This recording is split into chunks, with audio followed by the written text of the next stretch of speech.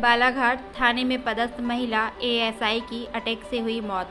बालाघाट नगर मुख्यालय महिला थाने में पदस्थ महिला एएसआई की अटैक से मौत होने की मिल रही है।